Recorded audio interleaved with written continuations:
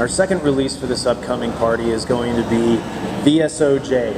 Uh, we're super excited to have this beer canned. Uh, it's been a fan favorite as well as Jim said, a staff favorite uh, for the last couple of years as we've had it uh, on draft only. Uh, she took home uh, a bronze at FOBAB in the barley wine, wheat wine category last year, adding to the decorations that Straight Jacket has earned over the years. Um, this beer spent uh, either two or three years. It's a blend of uh, two and three year old uh, bourbon barrels of our English barley wine straight jacket. Um, and it's not just the age that sets it apart from standard straight jacket.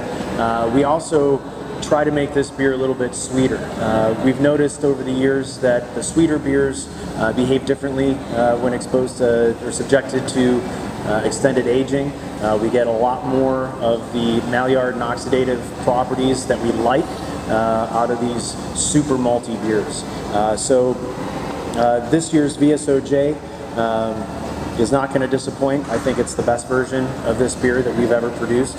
And like I said, I can't wait to get this into y'all's hands.